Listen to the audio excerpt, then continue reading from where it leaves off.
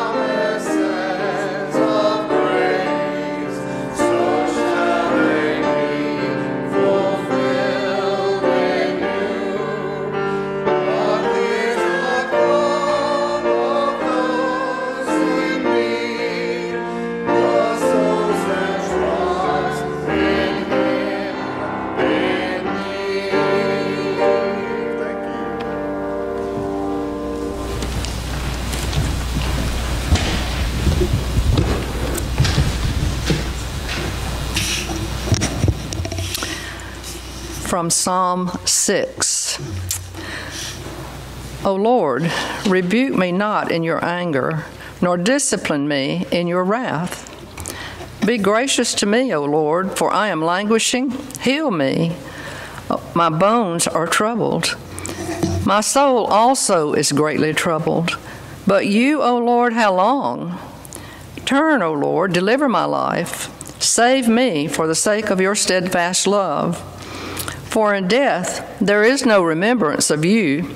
In Sheol, who will give you praise? I am weary with my moaning. Every night I flood my bed with tears. I drench my couch with my weeping. My eye wastes away because of grief. It grows weak because of all my foes.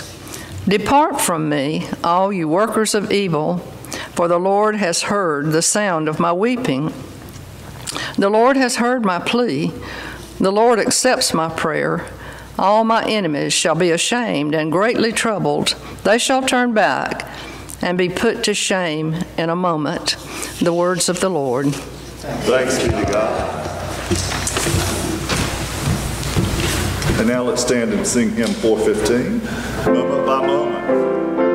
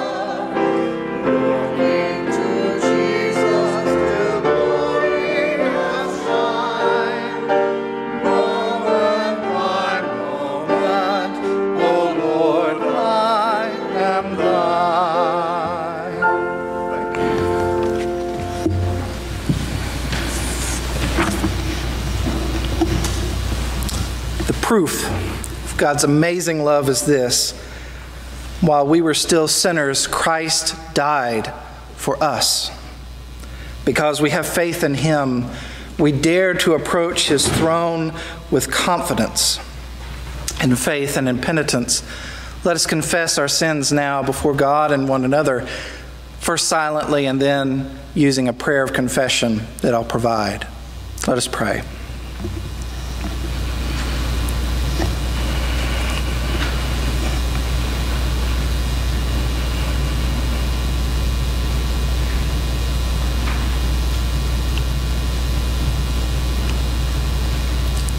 Merciful God, we confess we have sinned against you in thought, word, and deed, by what we have done, by what we have left undone. We have not loved you with our whole heart and mind and strength. We have not loved our neighbors as ourselves.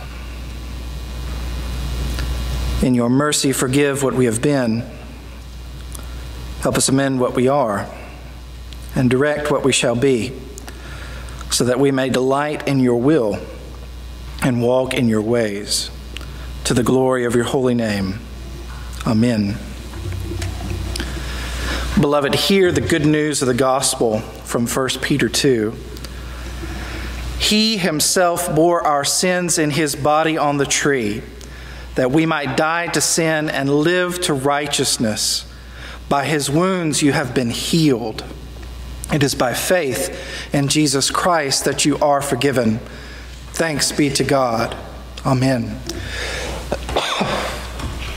Christ's righteousness and his righteousness alone have brought us into the kingdom of heaven. Listen now for God's will for our lives in that kingdom, taken from the Sermon on the Mount in Matthew 5.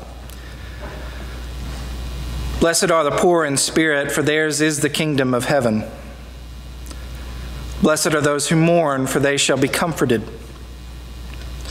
Blessed are the meek, for they shall inherit the earth. Blessed are those who hunger and thirst for righteousness, for they shall be satisfied. Blessed are the merciful, for they shall receive mercy. Blessed are the pure in heart, for they shall see God. Blessed are the peacemakers, for they shall be called sons of God.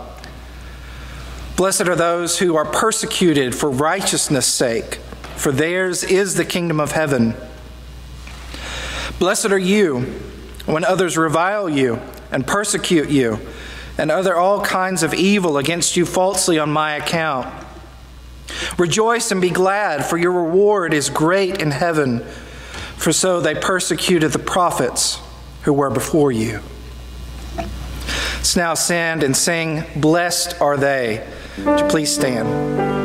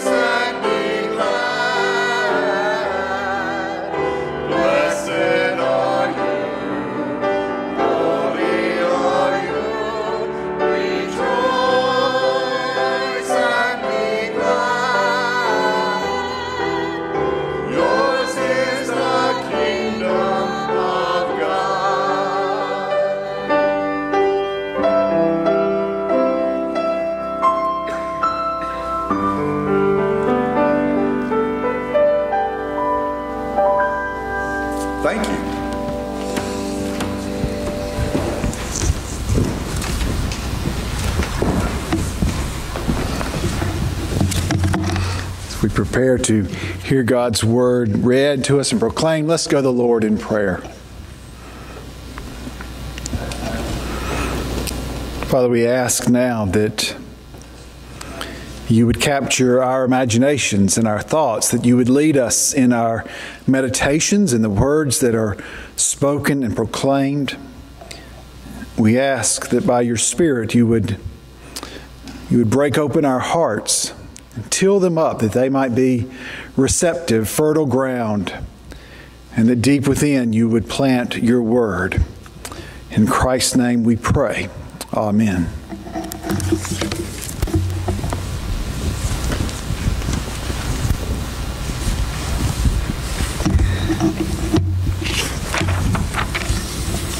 Old Testament lesson today comes to us from Genesis chapter 2 and 3, selected verses. The Lord God took the man and put him in the Garden of Eden to work it and keep it. And the Lord God commanded the man, saying, You may surely eat of every tree of the garden, but of the tree of, not, of the knowledge of good and evil you shall not eat, for in the day that you eat it, you shall surely die. Now the serpent was more crafty than any other beast of the field that the Lord God had made. He said to the woman, Did God actually say, You shall not eat of any tree in the garden? And the woman said to the serpent, we may eat of the fruit of all the trees in the garden, but God said, You shall not eat of the fruit of the tree that is in the midst of the garden, neither shall you touch it, lest you die. But the serpent said to the woman, You will not surely die, for God knows that when you eat of it, your eyes will be opened, and you will be like God, knowing good and evil. So when the woman saw that the tree was good for food, and that it was a delight to the eyes, and that the tree was to be desired to make one wise, she took of its fruit and ate. And she also gave some to her husband who was with her, and he ate. Then the eyes of both were opened, and they knew that they were naked. And they sewed fig leaves together and made themselves loincloths. This is the word of the Lord. Thanks be to God.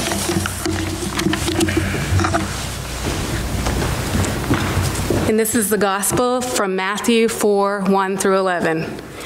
Then Jesus was led by the Spirit into the wilderness to be tempted by the devil.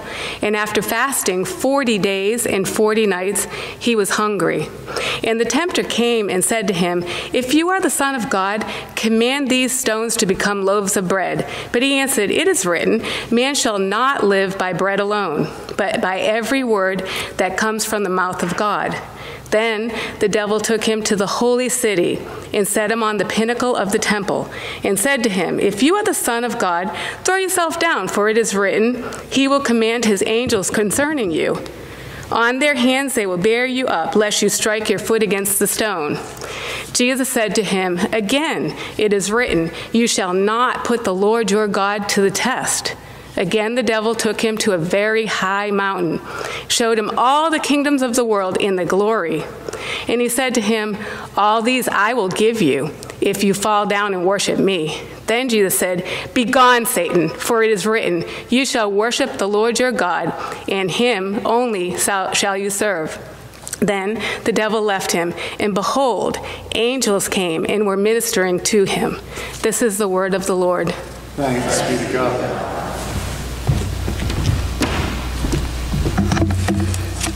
Our epistle lesson this morning again comes from Romans, the fifth chapter. Hear the word of the Lord. Therefore, just as sin came into the world through one man, and death through sin, and so death spread to all men because all sinned. For sin indeed was in the world before the law was given, but sin is not counted where there is no law. Yet, death reigned from Adam to Moses, even over those whose sinning was not like the transgression of Adam, who was a type of the one who was to come. But the free gift is not like the trespass. For if many died through one man's trespass, much more have the grace of God and the free gift by the grace of that one man, Jesus Christ, abounded for many. And the free gift is not like the result of that one man's sin. For the judgment following one trespass brought condemnation, but the free gift following many trespasses brought justification. For if, because of one man's trespass, death reigned through that one man, much more will those who receive the abundance of grace and the free gift of righteousness reign in life through the one man, Jesus Christ. Therefore, as one trespass led to condemnation for all men, so one act of righteousness leads to justification and life for all men. For as by the one man's disobedience the many were made sinners, so by the one man's obedience the many will be made righteous. Now the law came in to increase the trespass, but where sin increased, grace abounded all the more so that as in sin so as sin reigned in death, grace also might reign through righteousness, leading to eternal life through Jesus Christ our Lord. The word of the Lord. Thanks be to God. One of the intriguing and I would confess frustrating aspects of researching genealogy, something that I've kind of gotten into over the past few years, is when you run into a kind of a dead end or gaps in, in a family line. Individuals can appear out of nowhere without any paper trail, I guess, so to speak. You don't know who their parents were, where they came from. Other times, people just disappear in like fashion. You don't know what happened to them or where they went. This obviously isn't how it works in reality, though, right? People don't just come out of nowhere and they don't just disappear into nowhere. Something happens. And so, when you are trying to put this together in a family tree, you look for clues and you follow leads, and sometimes those don't pan out. But you always can learn something interesting in that pursuit, and that has been the case for me. I have learned a great deal about the tragic plight of humanity. In the second decade of the 19th century, a young woman named Mary married a slightly older man named Daniel in the state of North Carolina. Both appear to be from established, well respected families. Though it isn't clear what either's relationship is with those families, how they got along, or how the families felt about their marriage. Usually there's not a reason to question that, but what happens in their life raises some questions. Mary and Daniel have children, at least two boys. And then Daniel dies. He dies in debt and intestate. That is, he dies without a will. Mary finds herself in court, pleading for mercy and forbearance as all of her husband's lands and belongings are to be sold to pay off this great debt that he has. She is given one year to remain in the home and a stipend from the receipts of the items that are sold. Where is her extended family in this time? I do not know. All but one brother at this point are living in West Tennessee, but they're certainly male. I don't know what, what the relationship is. At some point over the next 15 years, Mary and at least one of her sons will end up in East Tennessee on a small patch of land that is a far cry from the near 200 acres that they lived on when her husband was alive. What became of the other son, I don't know. But Mary lived out the remainder of her days at the home of her son, whose name was George there in East Tennessee in, appear, in what appears to be sustenance farming, a life of sustenance farming. The debts of Daniel impacted the remainder of their lives as well as the lives of George's children. Now, about the same time, somewhere along the North Carolina Virginia border, three children found themselves orphaned. Their mother having died shortly after giving birth, their father passing away just over a year later. He also was in debt, and his estate was sold to pay off that debt. However, they were adopted by what appears to be their mother's first cousins. A woman who had married a man who held a great deal of land and was a well established lawyer. Eventually, he would become a judge. The couple was childless up to that point, and the adoption appears to have been a gift to both the adopters and the adoptees. The two boys end up going to university, both become practicing lawyers, and they appear to have done quite well for themselves and for their descendants. Their little sister would marry into a family with even more land holdings than the family she was adopted with, and she would go on to have 10 children, which is uh, impressive to say the least. Two very different outcomes for children who found themselves in very similar situations.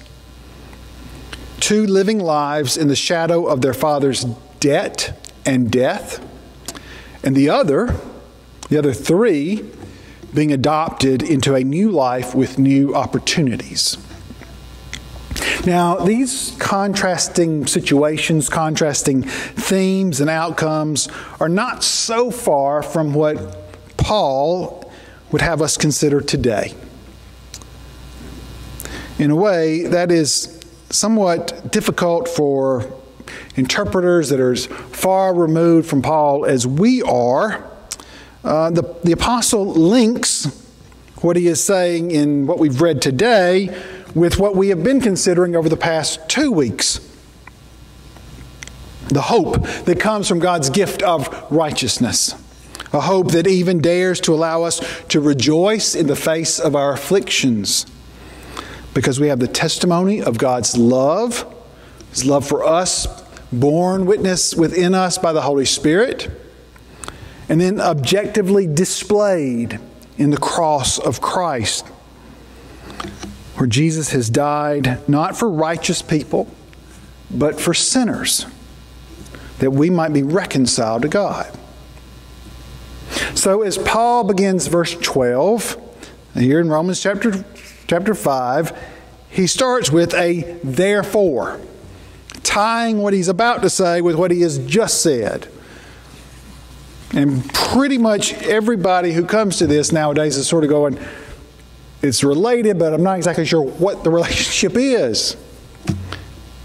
This is, this is how it should read all together, beginning in Romans 5.10. For if while we were enemies we were reconciled to God by the death of his Son, much more now that we are reconciled shall we be saved by his life. More than that, we also rejoice in God through our Lord Jesus Christ, through whom we have now received reconciliation. Therefore, just as sin came into the world through one man, and death through sin, and so death spread to all men because all sinned. So, what's the connection? Well, first, I think it remains that we are talking about hope. This entire portion is about hope from chapter 5 in the, through the preceding chapters. We are talking about the hope that comes from this gift of God's righteousness to us in Christ Jesus.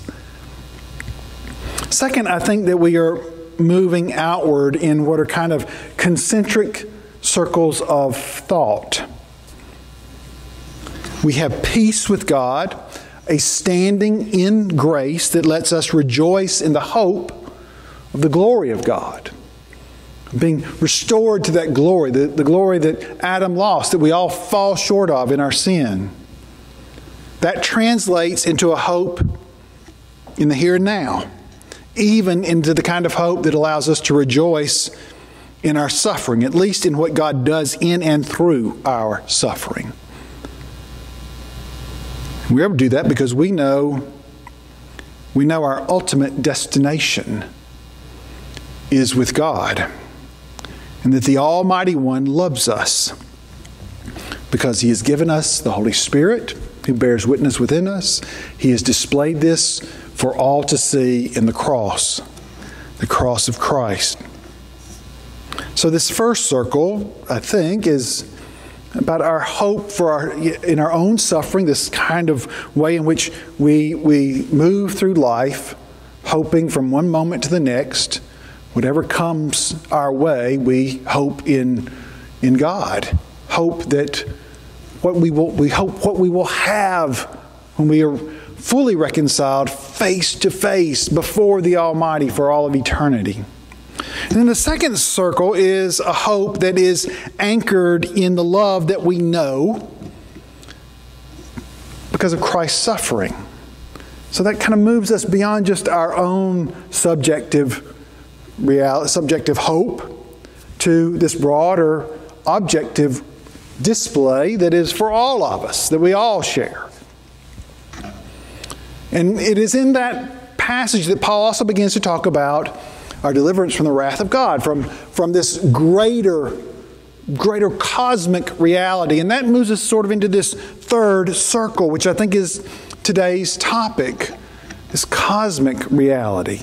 Things that are far, far greater than just me, far greater than all of us gathered here, but that play out on a, a scale that encompasses all of humanity, the hosts of heaven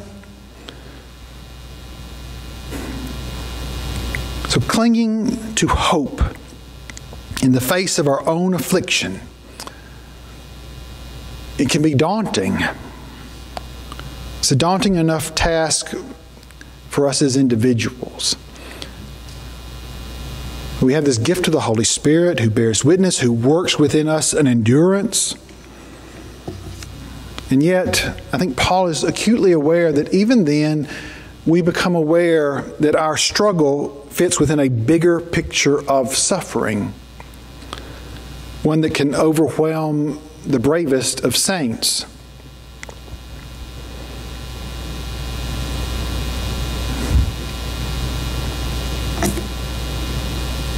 Even on our best days, there are things going around, around on around us that are perplexing to us.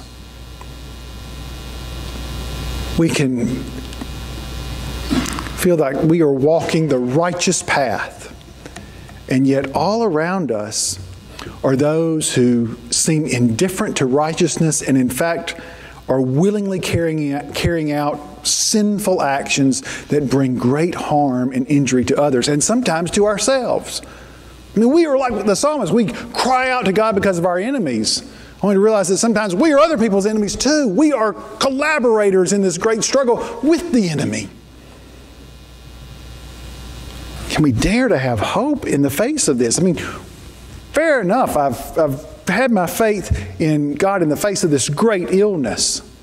But why is it that I can never seem to shake this sin that right when I think I'm doing all right, I come back and I hurt somebody?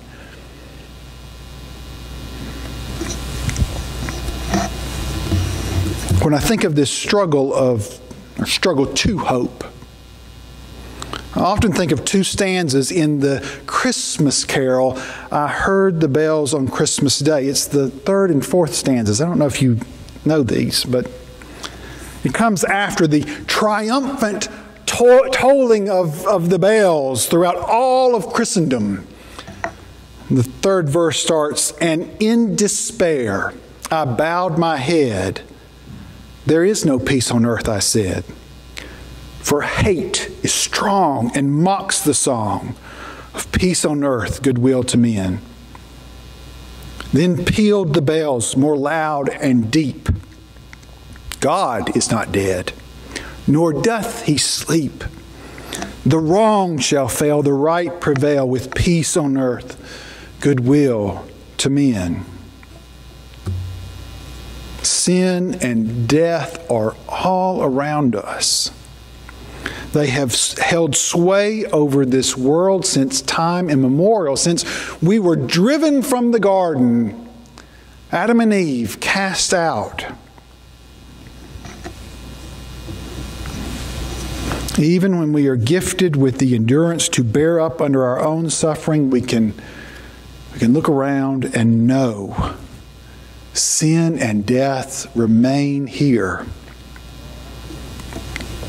We can be fooled into thinking that Jesus is, I guess, or living like Jesus is simply our own little Jesus. Here for our tiny struggles and our ordeals, losing sight of the glory of the triumphant King of King and King of Kings and Lord of Lords. And so Paul will take us through an exercise in comparison and contrast to highlight where we are in this cosmic ordeal and what exactly the one who is the fullest expression of God's love has actually accomplished. There are two figures two figures who stand as heads for humanity. Two figures whose actions impact all. There is Adam. He is the one man through whom sin came into the world and through sin, death. It is because of Adam that sin and death spread to all of his descendants we all don't commit the same sin as Adam, but we all sin. We all die. We are all born into a condition of spiritual death, separated from, at war with, in rebellion against the God who is life itself.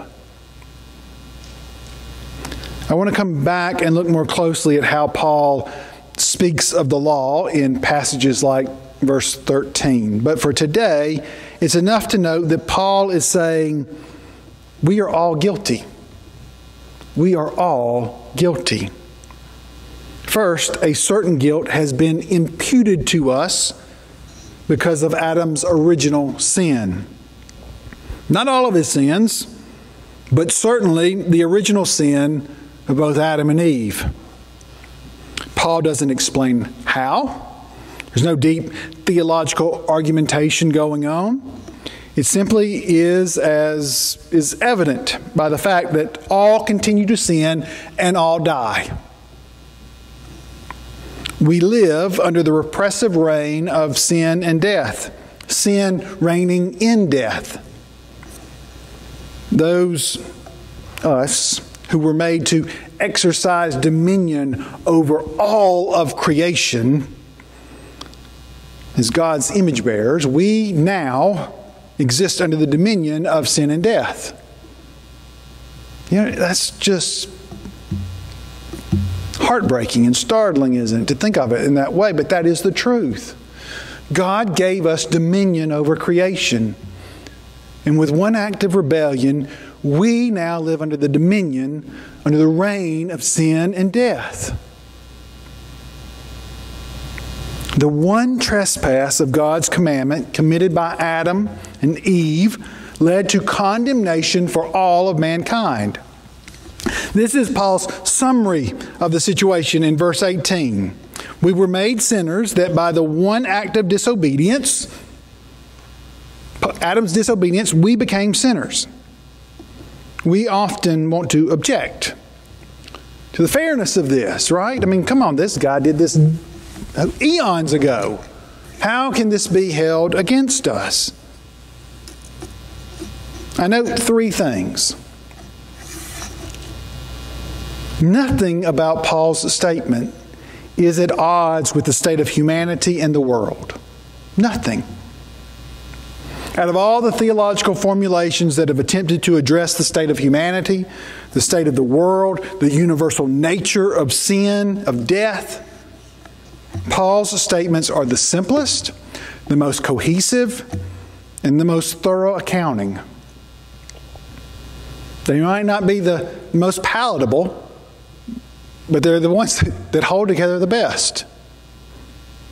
Second, what action, what action does any human being take that is wholly isolated, that does not have some impact on others, particularly on one's family? our very thoughts eventually find their way to some expression or action or inaction that has consequences for others. This seems even more true of our, of our sinful thoughts and actions. Even the sins that we commit alone in the solitude of our homes are connected to others in one way or another.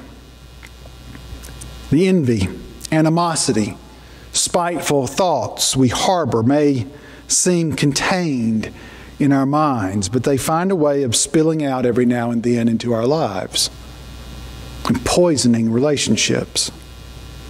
The lusts that we feed and allow to fester may seem contained to the dark corners of our home, but they typically involve either the exploitation of other people or our own object, objectification of others who are made in the image of God. Cancers may lie concealed for years, but eventually they manifest themselves. No man is an island. We object to, to the headship of Adam, and yet we all know headship quite well. Our heads of state, our government, make decisions that impact all of us. We may not even agree with them, but they impact us, and we live with the consequences of that. And that sort of leads me to the third Third thing I would say if we jettison the headship of Adam and the imputation of Adam's sin as objectionable to our sensibilities, then we also lose the hope of Christ's imputed righteousness. For this is where Paul is going in this line of reasoning. So whereas Adam earned earned his his condemnation. And we have all joined in the work of sin, earning that wage. The other, greater head for humanity, God has provided for us, Himself does not offer us something to earn, but offers us a gift. Adam's trespass of God's commandment brought death to all. In his grace, God freely offers life to all in Christ Jesus. Paul writes, Much more have the grace of God and the free gift by the grace of the one man, Jesus Christ, abounded for many. Much more. It seems to me that this way of, of talking is is akin to just things that we've experienced in life. Have you ever bent something and gone, uh oh, and then tried to straighten that thing back out? That is nearly impossible to do. Or maybe you've done something that I've done, wadded up a piece of paper, only to realize, whoops, that's the document that I need, and tried to iron out all the wrinkles and make it presentable again.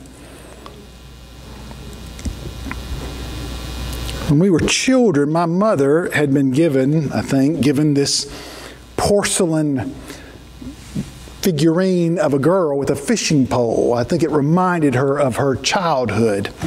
And where we lived, and we had this living room, and there weren't a lot of places to put it. And she put it on this end table uh, right there in the living room. And of course, my brother and I, we love to wrestle and fight and throw things in the living room. So we broke that porcelain doll, broke the arm off of it, and my mom tried to find all the pieces and glue that that arm back on, and it never looked the same. And to make it worse, we broke it not once, but we broke it at least three times. If my mom ever watches this, I'm very sorry about that.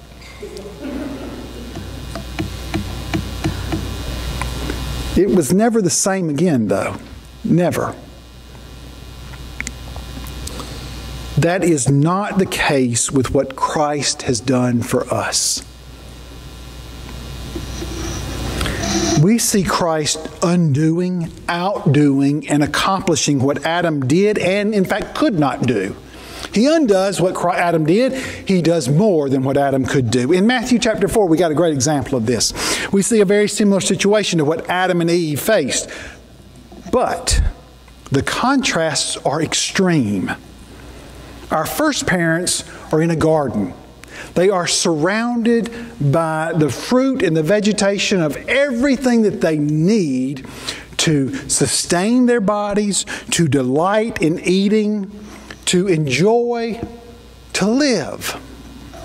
Jesus is in the wilderness, in the place of banishment with us.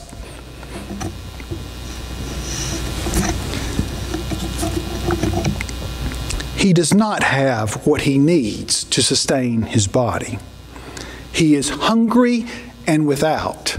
He is hungry after 40 days of being without. About you, but four hours is about the max for me. 40 days. The first temptation Jesus faces is in regard to something he needed. Adam and Eve, look at this fruit. Look at all these fruits. Jesus has nothing. And there's a rock. And the devil says, You know, you could make that into bread, something that you need and I know you won't. Matthew tells us Jesus was hungry. I don't think he just tells us that like it's, oh, yeah, by the way.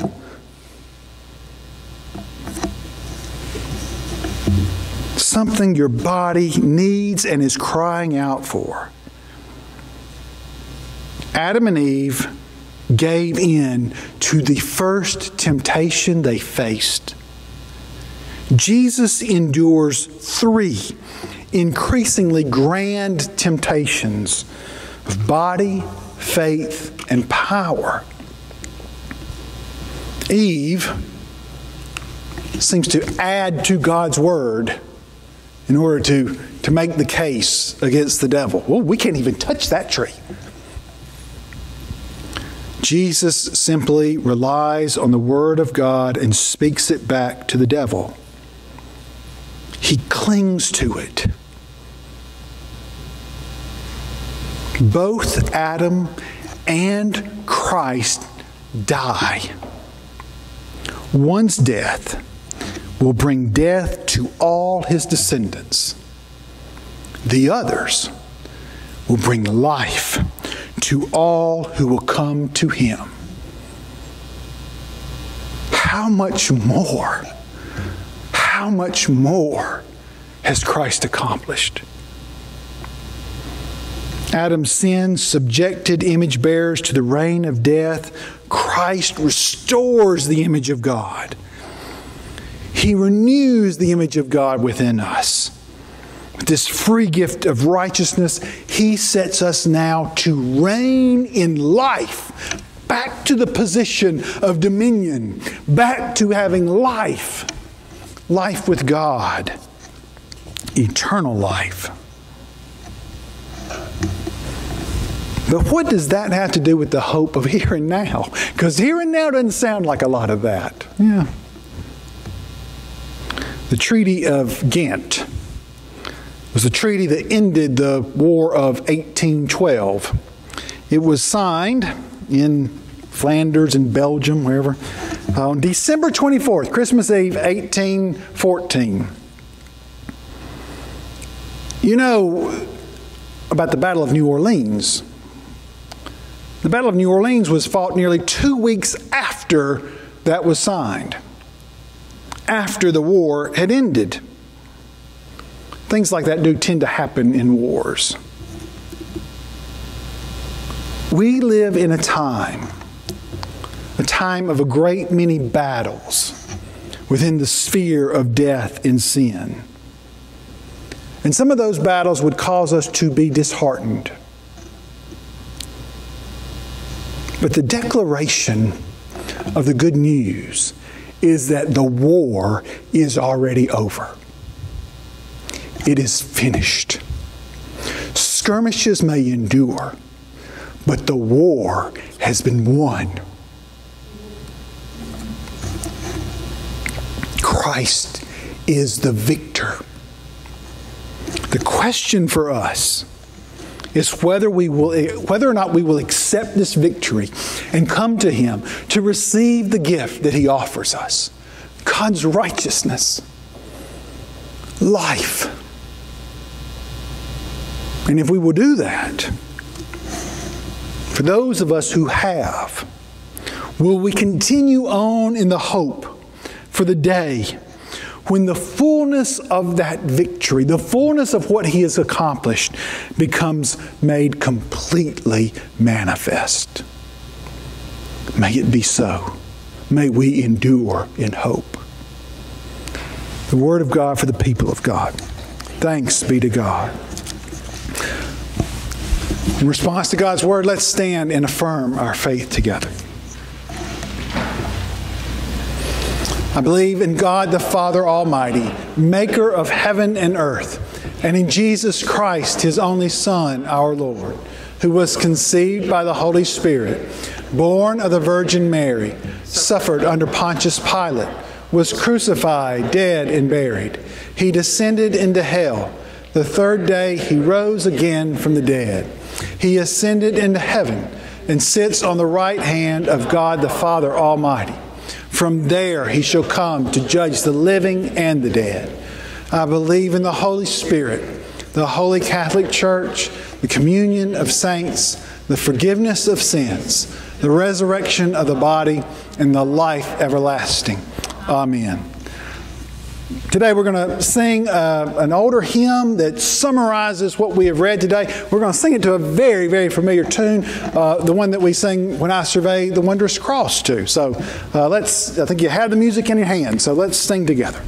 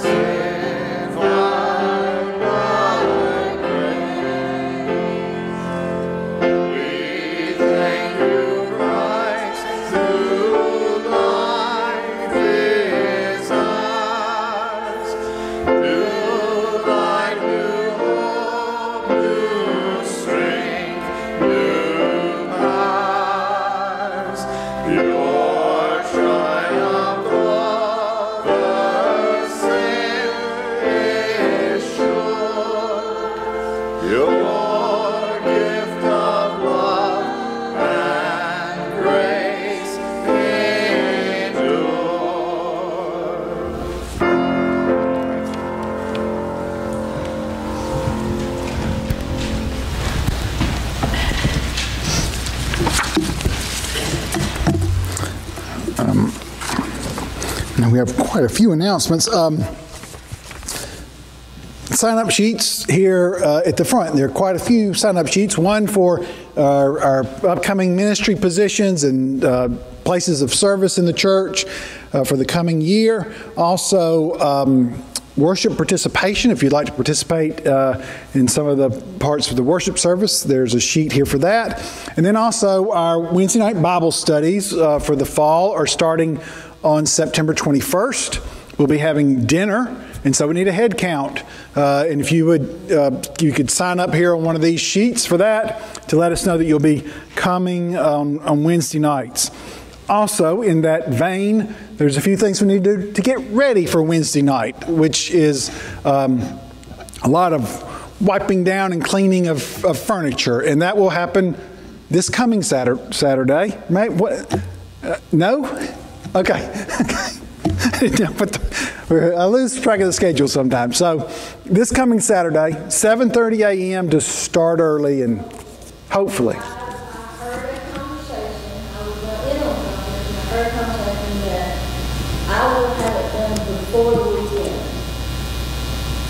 Okay. Okay. All right. Well, we're going. I'm not sure what it means, but we're going. We're going. we're going to be. We're going. We're going to plan our best to uh, to have it ready and, and to work together to to work, have our church ready. We're of course hosting the Presbyterians with this, so always nice to put our best foot forward, however that foot may look. Um, uh, also, there is a, um, a senior adult choir for Troup County called the New Horizons Senior Adult New Horizons Choir. It's a senior adult choir. It meets at First Baptist on the Square in LaGrange. Um, it's open to anybody in in the area, and they begin their first practice of the season tomorrow at 11 a.m. in the adult choir room in First Baptist. There's a phone number in the bulletin on the front on the you know especially note part that front page uh, Anthony Criswell's phone number. If you are interested, you can call Anthony and he will give you all the details. And something that we may need a sign up sheet for, but I don't have one a fall festival. There's a fall festival that's going to be over in Lanett. It's community wide fall festival churches are doing. And we'll have a tent, right? And we need baked goods and volunteers for the tent. So, um, you can see Sharon about that. Please do. Yes. I'll respond, uh, send out an email last week and respond to that, see me, and I'll have a sign up sheet for next week. And uh, yes, thank you, especially with, for your help with baked goods for the bake sale. Yes. Good to have baked goods for a bake sale. Yes. Yes. I concur. All right, so uh, that should be all of the announcements. I pray. Okay. Um, prayers. Those of you who would uh, like to give praises or share updates or make mention of new prayer requests. Yes, sir. My dad's going to have to have hip surgery yes. again on Friday. Yes. So Sharon's dad, Buddy, will be having hip surgery again this coming Friday um, over in Opelika. So we want to keep him in our prayers.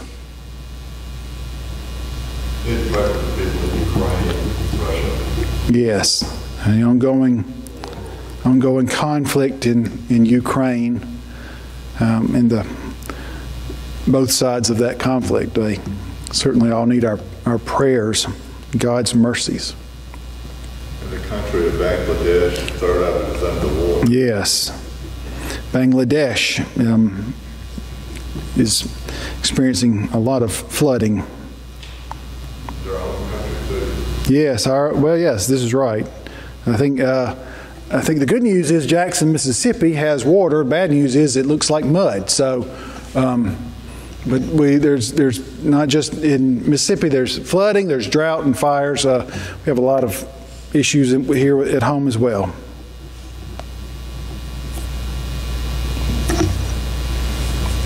Okay. All right, let's go to the Lord in prayer.